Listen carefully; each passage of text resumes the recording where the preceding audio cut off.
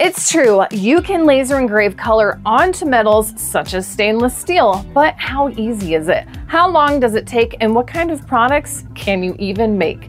I'm a poet and I didn't even know it. Well, I've got some tests and I have a lot of information you should know if you are looking into color engraving capable lasers, such as this 10 watt diode slash 3 watt infrared laser that WeCreat Lumos. Let's get some examples made and find out all about it. So what is a MOPA? The color engraving is achieved by manipulating the laser's pulse duration and frequency with a MOPA, which stands for a Master Oscillator Power Amplifier, MOPA, laser system. And how does this work? Well, the Master Oscillator, which is an awesome name, a Master Oscillator generates a low power laser signal that controls the pulse duration and frequency and PA power amplifier. This then boosts the strength of the laser signal without altering its original pulse properties, resulting in a high-powered, precise laser beam. And now you know, just in case anyone asks, or if you do trivia, you never know when it's gonna come up.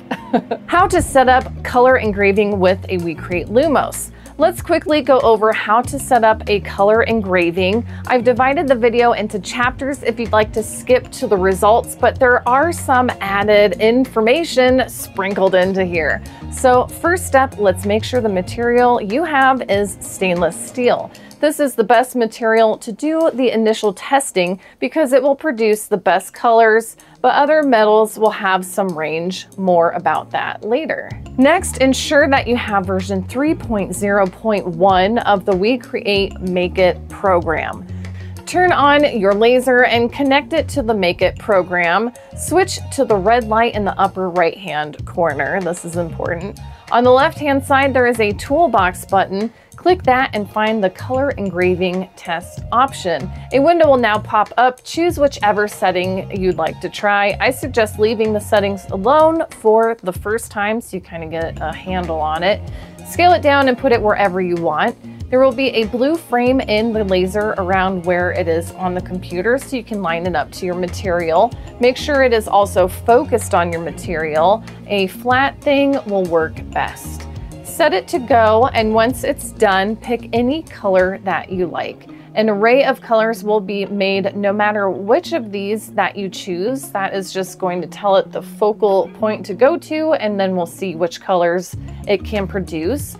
Once selected, you'll see the machine moves itself up into that specific focal measurement. And don't change it, don't touch it, don't do nothing.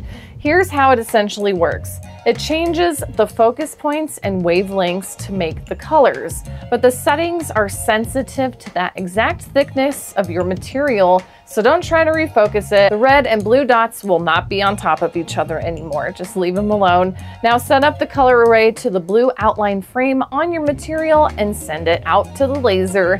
You can now assign colors in your laser project to whichever speed and power setting from this particular color array. And make sure you double check that all your engraving settings are also set to 300 for the density.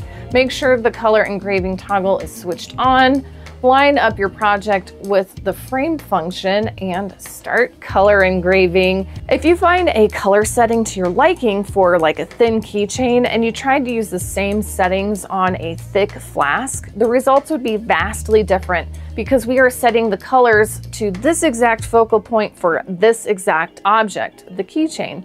So essentially every time we want to color engrave something, we are going to need to at least start with this color array and focusing process before we make our projects. So we're gonna do this a lot of times. Let's engrave some stainless steel light switch covers. Now these were $15 for a set of 10, so they're only a buck 50 each. I have to sacrifice at least one of these to test the settings.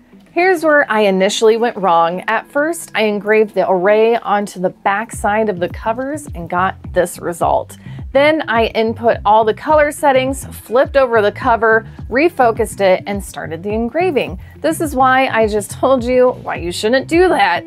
It turned into this. The colors were barely there because I was way off in the material thickness since I flipped it. And even though I refocused it, because it's not supposed to be exactly in focus. The next one, I forgot to make sure the color engraving toggle was on, important step, so it engraved normally. I did get somewhat different shades on there though, so like all these dark brown colors, which is nice, but it's not quite what I was going for. So I figured all that out and did a color array test on the same surface with the same thickness where I wanted the color engraving to be. Once set up for reels this time, it took about 50 minutes. Not bad, you could easily do something else while this is going on like we do with a lot of our laser jobs. I went ahead and lasered another one out while the settings were still set for this exact type of light switch cover. You could alter the design in the computer, but don't bother putting in any other materials under these settings. You cannot take a picture of the laser bed while it's in this mode, so utilize the framing function to get your objects in line. You can also select one object to frame separately, which helped me align the screw hole engraving seen here so everything looked great. I whipped out a couple of these light switch covers easy enough, because the settings are so fiddly, I recommend if you get into this for your cool laser business, you make as many of something as you can while you have the settings exactly where you want them. So how long does color engraving take? For some people, they say it takes forever for anything to engrave. For anyone who has a 3D printer, waiting an hour for a relatively small five color design is nothing, especially those 3D printed jobs that take like five sessions for 12 hours each to print. This large engraving is coming in at around three hours. It goes through each color one shape at a time at 300 line density, so it makes sense why it takes so long to engrave this. But the smaller and simpler the design, the faster it's going to go. Why should I bother color engraving? Here's three key business advantages why you should consider color engraving. First, aesthetic appeal. This is a big one. Color engraving transforms a standard stainless steel object from something functional into a piece of art, really. This is pretty fun stuff. The results are visually stunning and immediately grabs attention. Two, market differentiation. How many people in your area are offering vibrant, multicolor engravings on metal? I bet the answer is probably not very many. This immediately sets you apart from your competition and allows you to capture a unique corner of the market. So something to consider there. Three, high perceived value. Because the service is so unique and visually impressive, customers could be willing to pay a little bit more for it. You're not selling a commodity so much as you're selling a specialty service. This allows you to charge more for custom items like jewelry, personalized tech gadgets, and high-end gifts.